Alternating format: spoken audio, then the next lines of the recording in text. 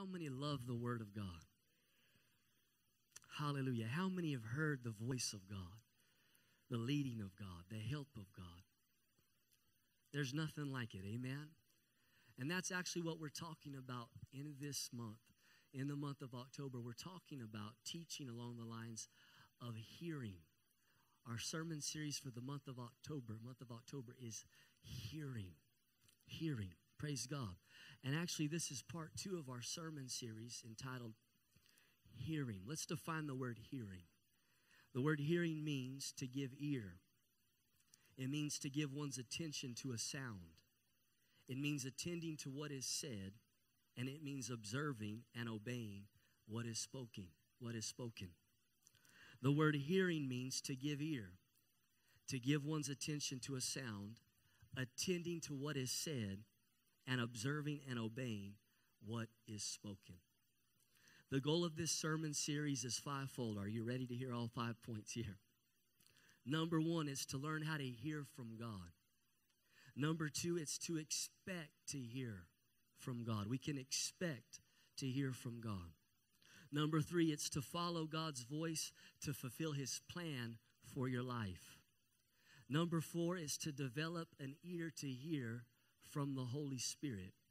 And number five is to equip us as a church, you as a believer, to succeed for the rest of your life by getting acquainted with the voice of our Father God. Amen. Are you ready this morning? Again, this is part two of our sermon series entitled Hearing. In part one, we answered, we asked the question, and we answered the question: Is God speaking today?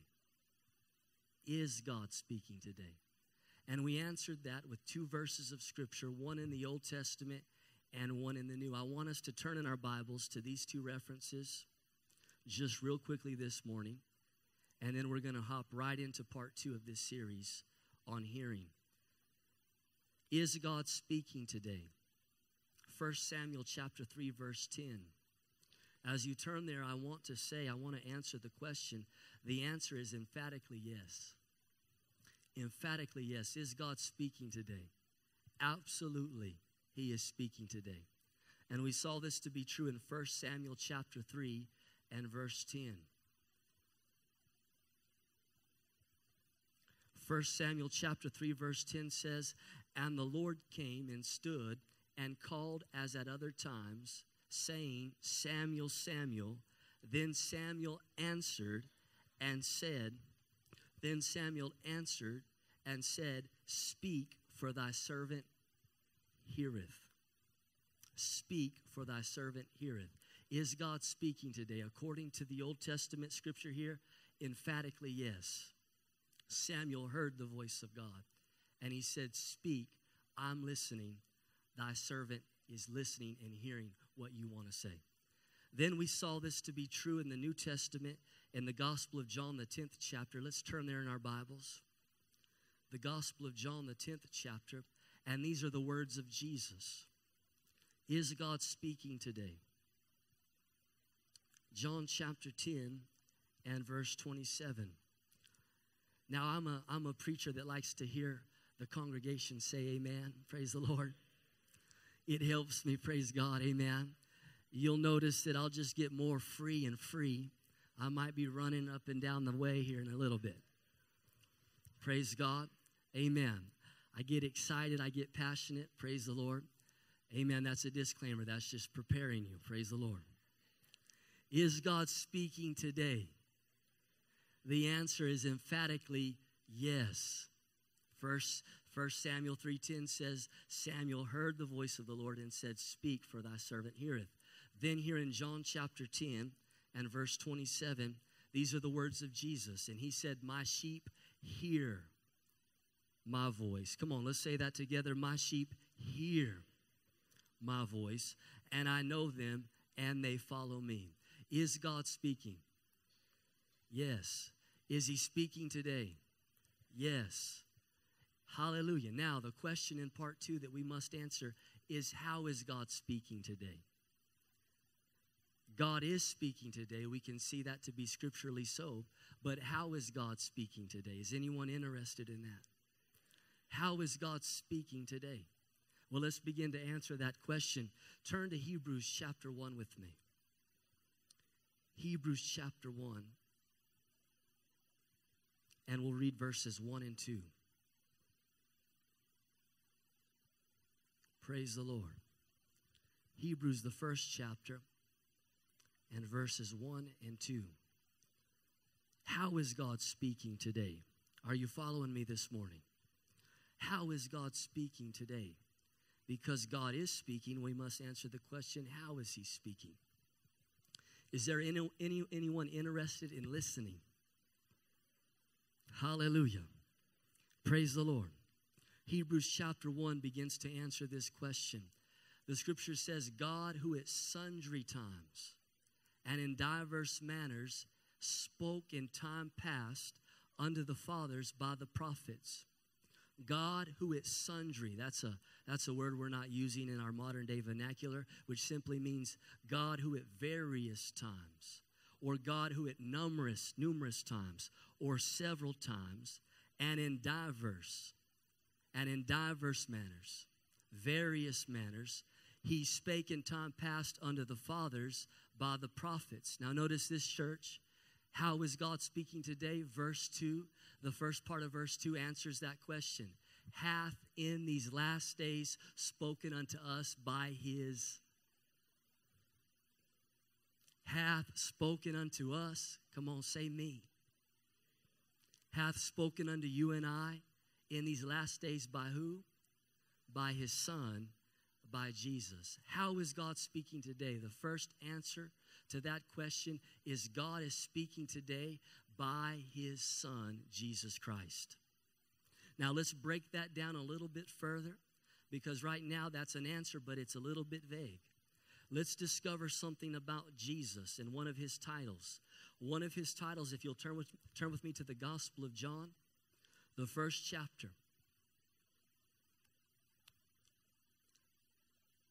John chapter 1. Praise the Lord.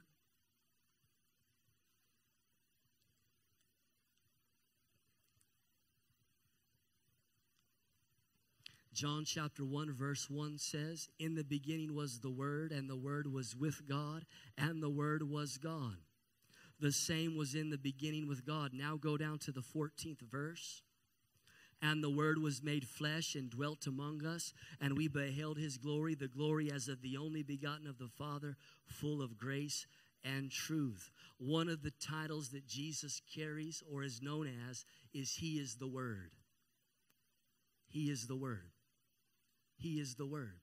So when the scripture says in Hebrews chapter 1 verse 2 that God has spoken unto you and I in these last days by his son, we could say this, God has spoken unto you and I in these last days by his word.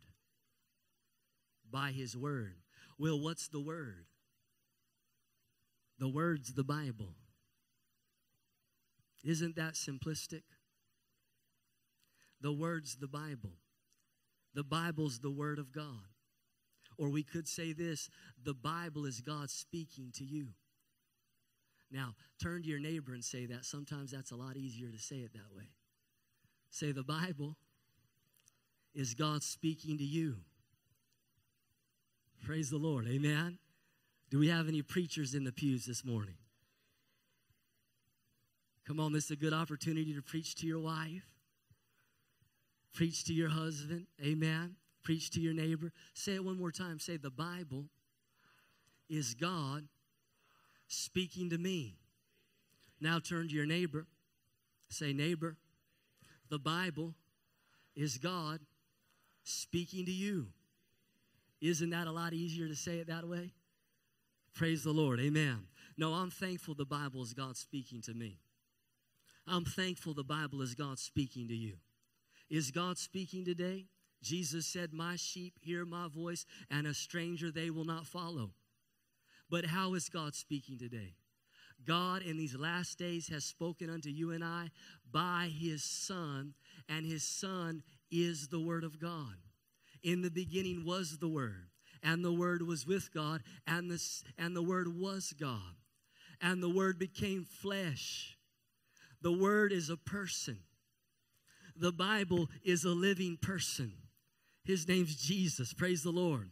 From Genesis to Revelation, there's a revelation of the Lord Jesus Christ. Let me just solidify that statement with the book of Daniel. In the book of Daniel, Jesus is seen in the fiery furnace.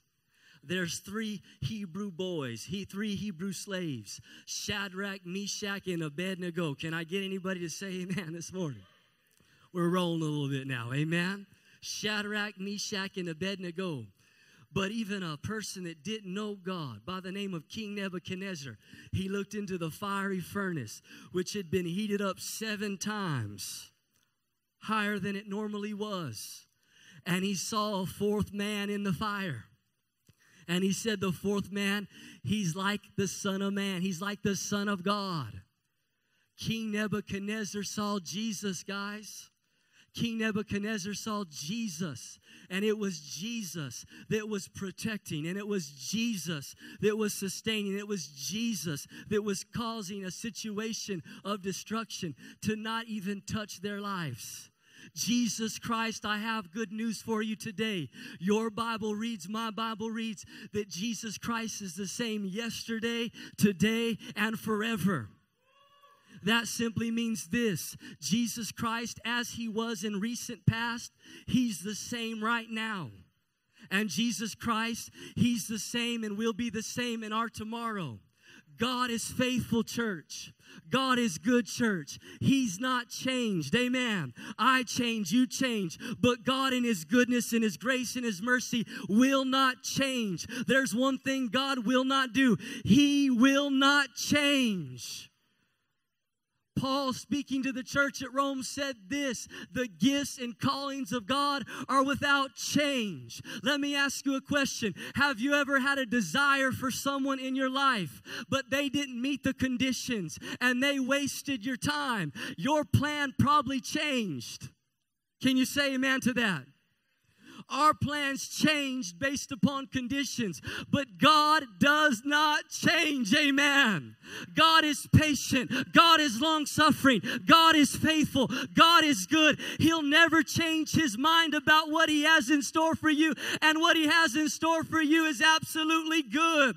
The scripture says in Jeremiah chapter 29, verse 11, For I know the thoughts that I think towards you, saith the Lord, thoughts of peace, thoughts of prosperity, and not of evil. I have a plan for your life, and that plan will not and cannot ever change.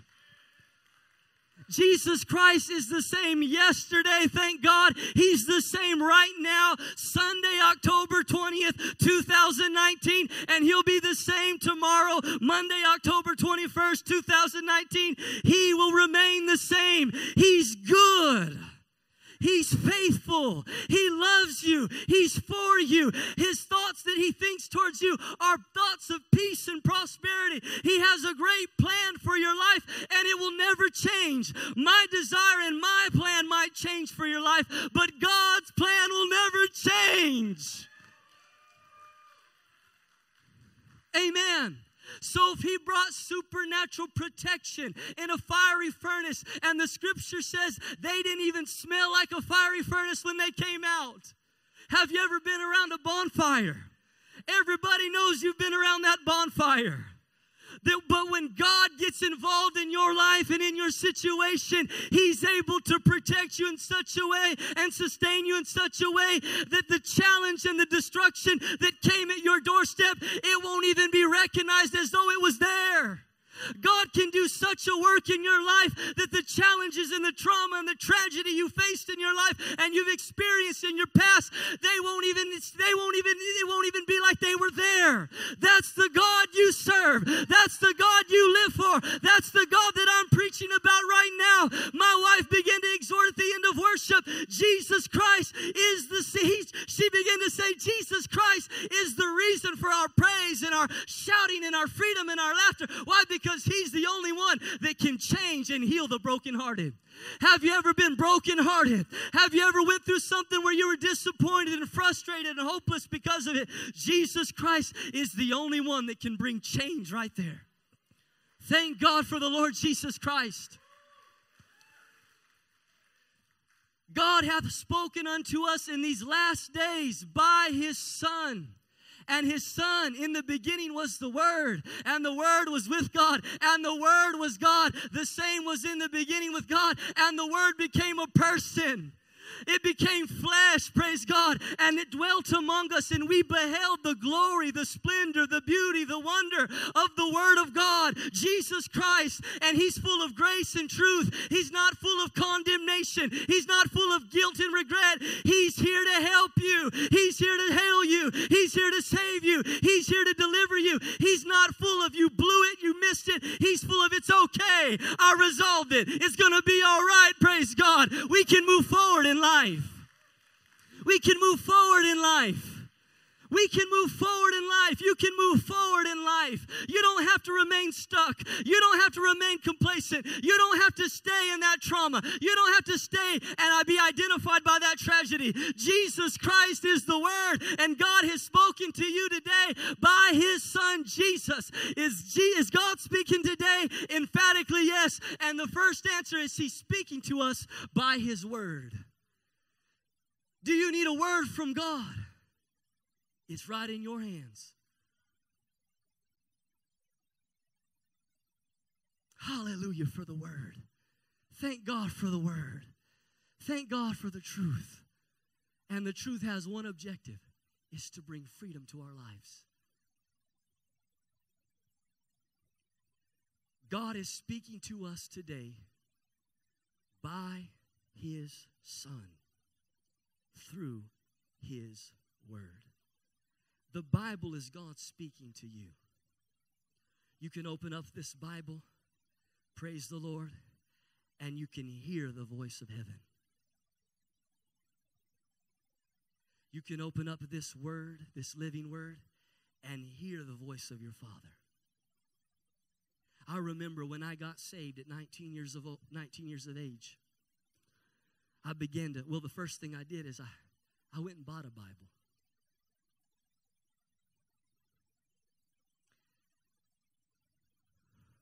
Glory.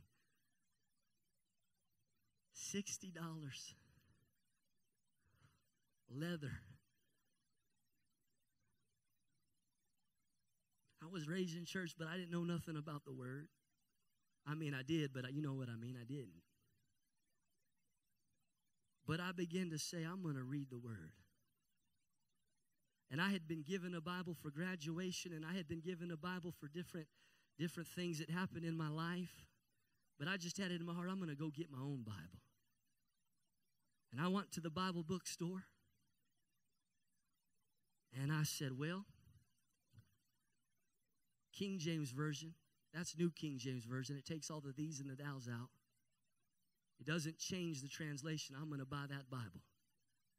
I got to the counter and I heard $60, $70. I thought it was going to be $20, $10, $15. I didn't pay attention, like I said, to the leather. It was leather bound. But I began to read the Gospel of Matthew. I thought this is a good place to start. The Gospel of Matthew. And I didn't know that by reading the word, I was hearing from, from God. I might have known that just on the inside, but I didn't know it in regards to I could teach that to you. But I began to read Matthew. And I got to the 10th chapter. And I got down to the 39th verse. And God spoke to me. And there's nothing like hearing God for yourself. Like Samuel heard God, I heard God. This is what I heard. It wasn't an audible voice, it was thoughts. And these thoughts created a sentence. And it said this It said, Michael, for 19 years of your life, you've lived for you. And you've been disappointed. And you're just 19, but in 19 years, you're disappointed. He said, Michael, I give you the opportunity for the rest of your life to be satisfied. Let me quote you the scripture. And then you, you judge it to see if this scripture agrees with that thought. The scripture read this it was Jesus that spoke the words. It says, He that finds his life shall lose it. But he or she that loses their life for me shall find it. And this is the best way I can describe it. This thought came off the pages and came right into my heart. And it answered why I failed, but it answered how I could succeed. Watch this. It brought conclusion to disappointment. It put a period at the end of that disappointment, and it healed me. And now it pointed me. Now, the rest of your life, if you'll live for me, I'll satisfy you.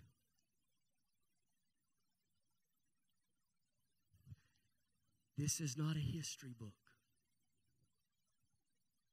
This is inspired from the Holy Ghost. It's alive. And when you read the written word, the living word will come alive to you. Hallelujah. How is God speaking unto us? By His Word. Number one. Number two. How is God speaking today?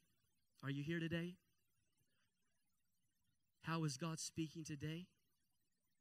By His Spirit. By His Spirit. Turn with me to Romans chapter 8. Romans chapter 8 verses 14 and 16. Number two, how is God speaking today? By His Spirit.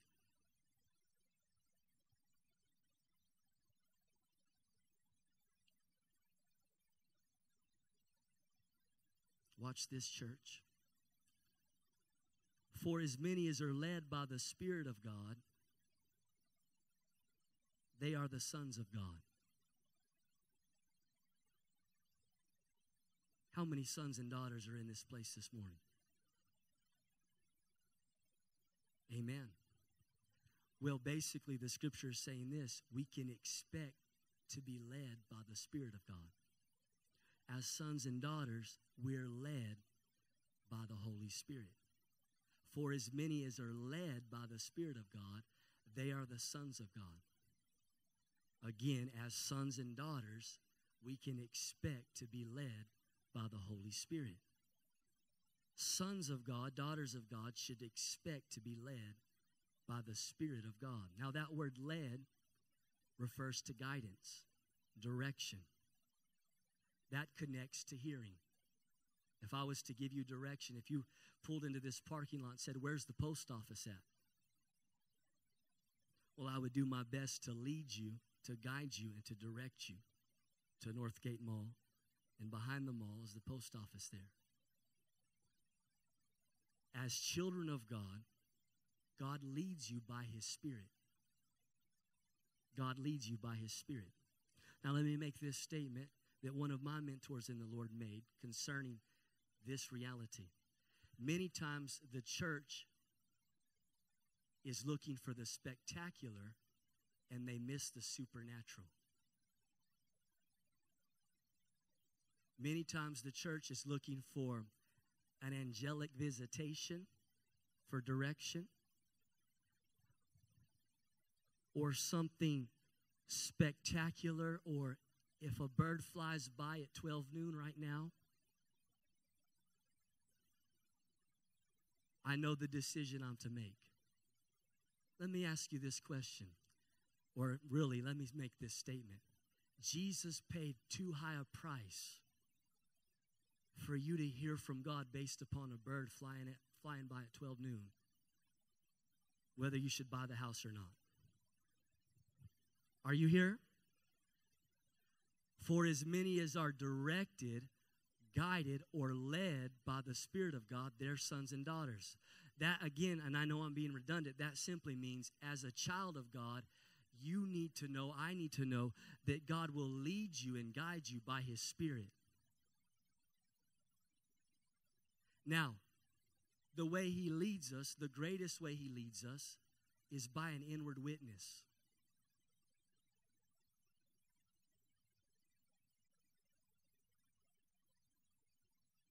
An inward witness, an inward intuition,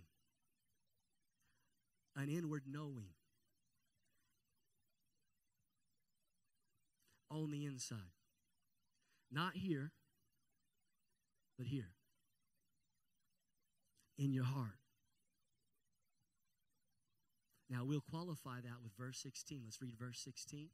Romans 8 16 says, For the Spirit, the Holy Spirit, King James Version says itself, which really means himself. The Holy Spirit himself, watch this church, he bears witness with our spirit that we are the children of God. I'll submit this thought to you. If he bears witness with your heart that you belong to God, then we can conclude, and I'll give other scripture to validate what I'm about to say. We could conclude that God leads us or bears witness on the inside of us in regards to decisions we're going to make. The number one way that God leads his body is by his spirit through an inward witness. Through an inward witness. Praise the Lord. Now let's back that up with the Bible here. Go to Proverbs chapter 20. Are you here this morning? Now that's not spectacular, but it's supernatural. Remember, I said many times people are looking for the spectacular and they miss out on the supernatural. You know, God makes living for Him so simple, it takes a guy like me to confuse us. This is not rocket science. It's profound, it's powerful, but it's not hard to follow God. It's not hard to hear from God. Proverbs 20 27 says this. Praise the Lord.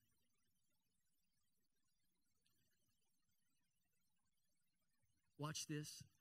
The spirit of man is the candle of the Lord. The spirit of man is the candle of the Lord, searching all the inward parts of the belly. That simply means this. If we just take the scripture for what it's saying, the candle would bring light, the candle would bring direction. We could say this the spirit of man is the flashlight of the Lord. Now, before we had flashlights, before we had smartphones with the, I'm thankful for my smartphone. I can, I got a strong flashlight on the back of that smartphone. We've been moving, moving things into storage and it gets dark, praise the Lord. And before those lights turn on in the storage, I hit that flashlight. And I'm looking in that storage locker. Where's that at? The light gives me direction. The light gives me, oh, yeah, it's right there. The light gives me answers. Now, before the smartphone, before a flashlight, before electricity, when this was written, what they have. I've only seen it by movie.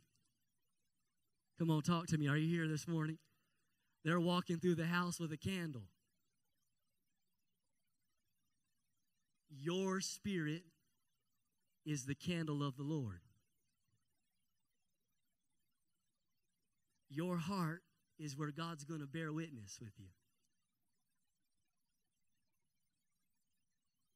He's going to lead you by a witness, an inward witness.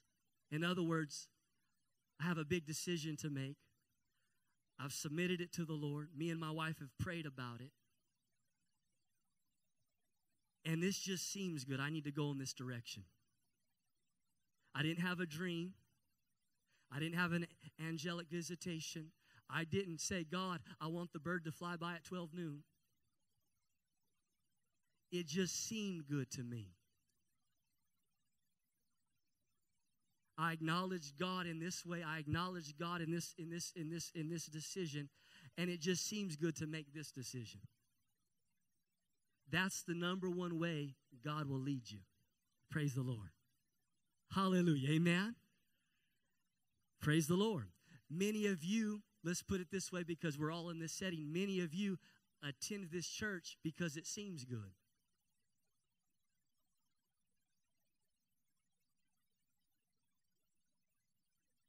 Praise the Lord. Sister Kathy, can I put you on the spot? She said yes. She's shaking her head at me. Now, when I say this, I love the body of Christ. I'm not. Sister Kathy comes from the Church of Christ Church. And I love the Church of Christ. I'm a unity guy. If you know the Lord Jesus, we're family. We're in the same kingdom, we're in the same city. Let's band together. Yes, we have our own assignments, but let's let's surround let's get I should know the pastor down the road. I know Pastor Jimmy Talley at the Ministry Center. I know Pastor Terry Evans at Grace Point. I, I know the elder. I have not met the pastor at the Presbyterian Church here, but I know the elder here. We should band together and fellowship with one another. Amen? But she came to our church and she came, she's, she's on the Hixson High School booster team. So she was introduced to our church through us having the banquet here. But then one day she just dropped in on us. And I said, I went into the office, I said, There's somebody here from Hixson High School to my wife. We've done that banquet for eight years, no one's ever come. My gosh. She's right on the third row where Jade's sitting right now. Well, she came to one service, she came to another service. She came to a third service. I called her. And this is what she said to me. Help me, correct me if I'm wrong. She said, You're a little charismatic.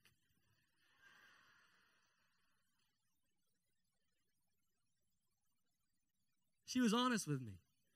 In other words, interpretation, you're a little weird. You're different. But she said this. Here's the inward witness. I feel comf- I feel comfort there. That's the greatest. Praise the Lord. Thank you, Jesus. To God be the glory. I'm no good. God's good. To God be the glory. I did a double, I did this in office. That's thoroughly scriptural because the Holy Spirit, He's the comforter. That means the Holy Spirit, even though it's different, is in the church. So she didn't receive, and I, hopefully you're going to keep attending. We'll see you next Sunday, right? This might not work if she's not here again. but she didn't say, well, at 12 noon, if the bird flies by, then I need to go to that church. Or she didn't, she didn't have a dream or, a, or an angelic visitation. Now, we we can get to that. God does speak that way. But primarily, God doesn't speak that way. Primarily, God leads you by it seems good. This is right. I've prayed about it. I've submitted it to family. I've submitted it to counsel. If it's a huge, you know, big decision. But this just seems good. And that's how she's come to this church. The, your spirit is the candle of the Lord. Proverbs 20, 27. And then Romans 8, 16 says, The Holy Spirit will bear witness with your spirit. He'll lead you from your heart. So we could say this follow your heart. Now, sometimes your head and your heart don't agree. And you can't make sense of a situation. Something's not right. With my head, everything, all the pieces are in place, but with my heart, it's like I'm taking a shower with my socks on. Something's not right. Well, just wait. That's called a red light. But then there's times where you're just, and nothing makes sense here, but on the inside, maybe Sister Kathy can relate to this. Wow, that guy's crazy, but my head's saying one thing, but my heart's saying another. I go there and there's something that happens. That's the inward witness. Hallelujah. That's the inward witness. For as many as are led by the Spirit of God, they are sons and daughters of God. In other words, you're a son and daughter of God, and you're led. You're not led by a pastor. You're not led by a prophet. You're not led by an evangelist. You're not led by those things. Thank God for those offices, but you're led by the Lord. Otherwise, you'd always have to go to them and say, What's the Lord saying? And Jesus paid too high a price for you to have to run things through everybody. He wants to talk to you personally. You're his sheep and you know his voice. He paid too high a price for you to have to run things to people. Now, there's a place where we get counsel, right? Come on. But if I have to run to a ministry gift to get a word from the Lord, no, no, I'm missing it. I got a word from the Lord. And then I've got an inward witness. I got the Holy Ghost on the inside of me. And He knows the landscape of my life, He knows the layout. And I'm going to listen to Him. Praise the Lord. Amen. All right. Let me qualify that a little further and we're going to close. Turn to um, 1 Peter chapter 4 verse 11.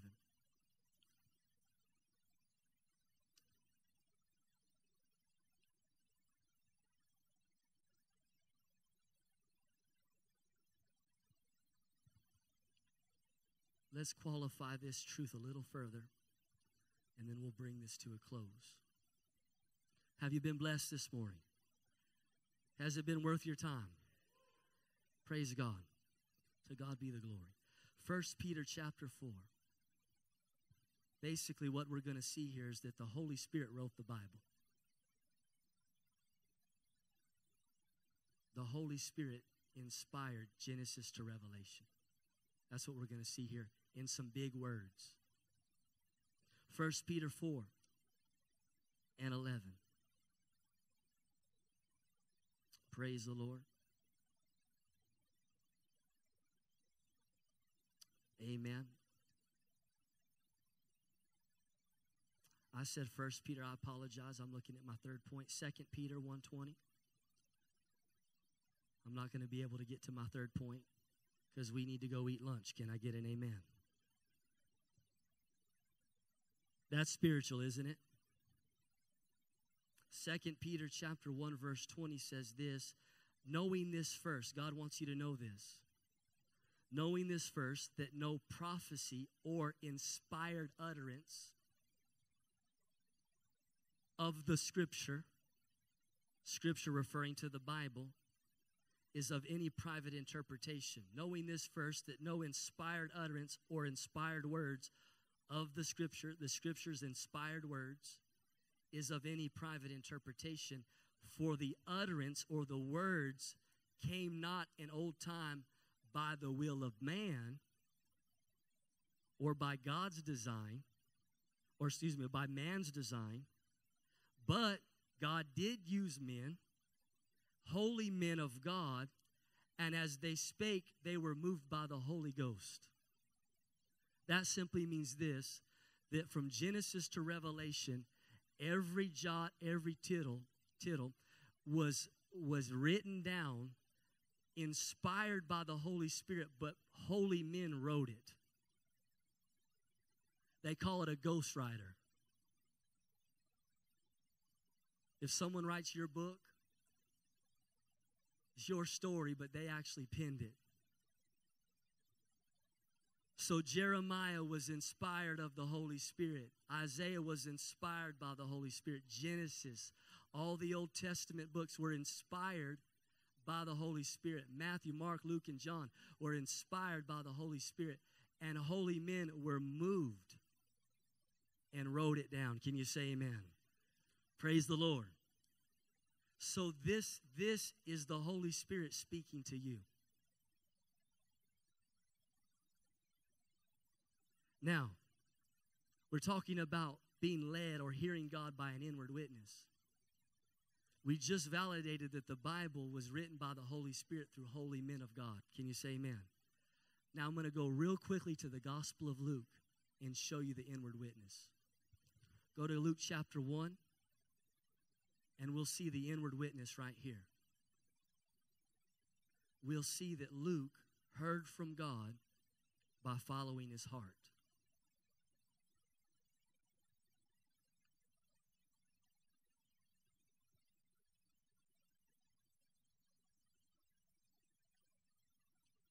Thank you, Lord.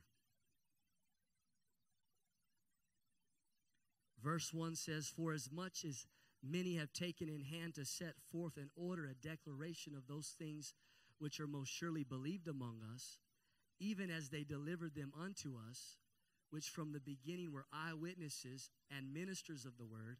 Watch this church, underline it. It seemed good unto me. There's the inward witness. It seemed good to me also, having had perfect understanding of all things from the very first, to write unto thee in order, most excellent Theophilus. How many believe that the Gospel of Luke is inspired by the Holy Spirit? Or how many believe that Luke, which was a physician, heard from God and penned what he penned? Of course. Notice how he was how he heard from God. He said this, it seemed good to me. He didn't say God came to me in a dream. God can do that. He didn't say again the bird flew by at 12 noon and made the decision. He didn't say I went to the prophet and the prophet said, "Pen this gospel." He said, God spoke to me by it seemed good. That's the inward witness. I'm thankful for the Gospel of Luke. But what I just showed us is that it was simplistic of how he heard from God to do what God told him to do. You have a seamer. Does it seem good? Be led by your seamer. Does it seem good or does it not seem good? Do you have peace or is there no peace? Do you have a green light or do you have a red light? That's the primary way God leads his body, just like he led Luke the physician to pen the Gospel of Luke. It seemed good. Praise the Lord. When I've heard from God and I and I've missed God a lot. That it's good to say to hear that. You can miss God. But the times I've hit it on the head, it seemed good.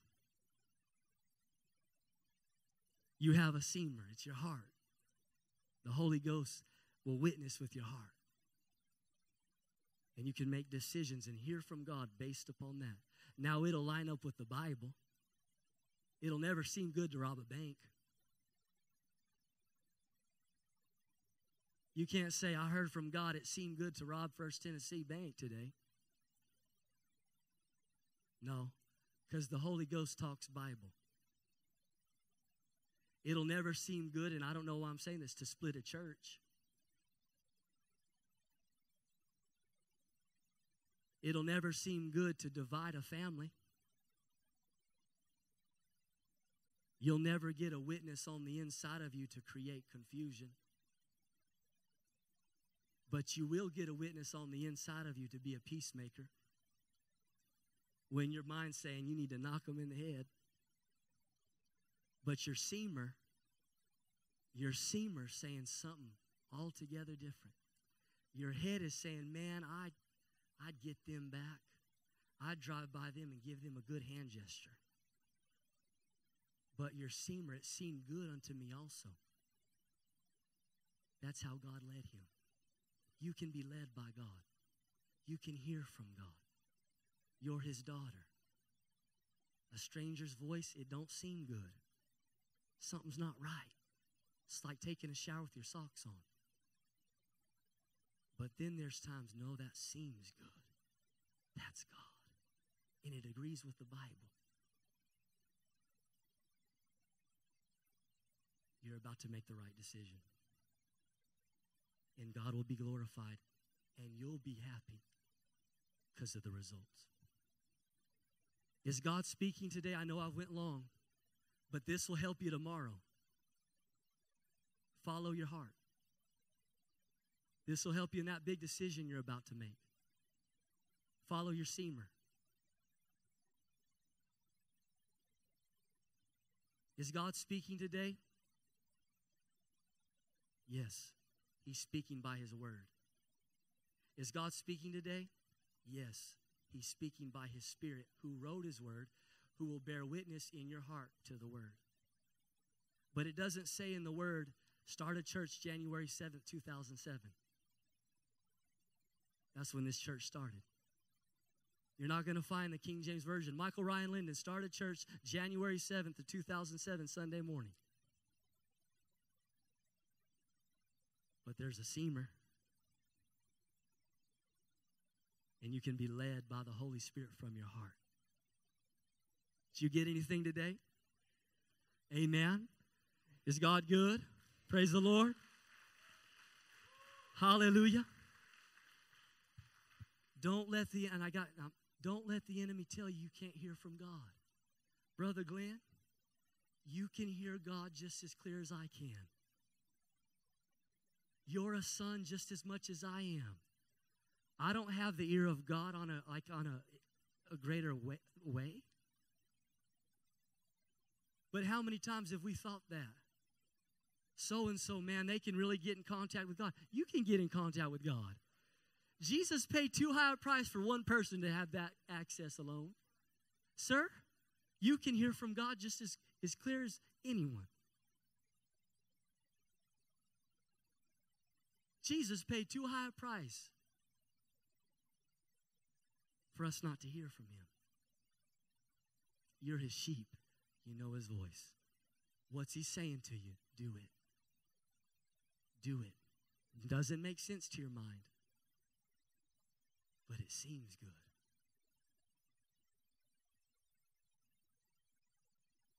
This seems right. That's the primary way the Lord will lead you. Now, if you get a dream tonight, I can count on my hand how many God dreams I've had. That I woke up and went, I better not do that. I woke up from a dream and I was about to make a decision in, in pertaining to a relationship. And the Lord showed me in the dream her heart and said, This person is not where you're at and not going where you're going in the relationship. I said, How dare you, you tell me that? But I obeyed. Ha ha. Ha ha ha. Watch this. I didn't meet her till like 10, 11 years later. And you know how I met her? My pastor said if I'm two hours away and I'm holding a meeting and I'm two hours away from Chattanooga, this is another way God will speak to you. It's through His church, it's through His body. He said, I expect you to be in that meeting. And the Holy Ghost, the Holy Ghost, Michael, will use me to speak into your life. And you'll get a supply. Oh, praise the Lord. hey, that night, we had just, that weekend, we had just entered our marriage conference. I dropped the guest minister off in Atlanta. I wanted to go home. Pastor Mark was in Moulton, Alabama. I pulled into the Taco Bell Tin in Moulton, shaved in the, the Taco Bell restroom, that day we, we wore suits to every church. I put my suit on, put my tie on. I walked into the church, got on the front row because I called before and I said, I'm coming. They said, Oh, you know, Pastor Mark, we want to, I didn't, I'll sit in the back. I'll sit in the hallway. I don't need all that. But we'll move you up to the front. Okay, I was sitting on the front and to my left. I said, Glory be to God. It seems good. this seems real good. Isn't that amazing that God will lead you by it seems good? Everyone in here can be led by God, can hear from God. That seems right. Yeah, let's do that. Well, church started. Man, they had, you talk about a charismatic church, sister. They had a praise and worship leader. He looked like Michael Jackson up there. I started watching him. I forgot all about it. Seems good over here. I was like, I thought our church was wild. This church is real wild. You know what? By the time the sermon came, and I, I went long, I apologize.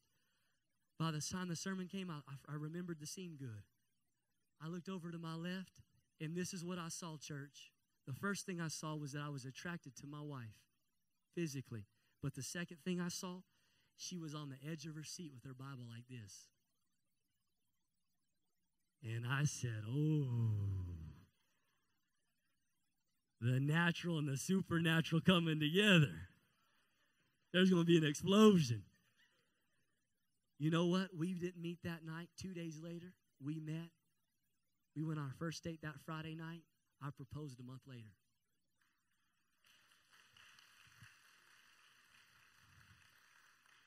I didn't get an angelic visitation.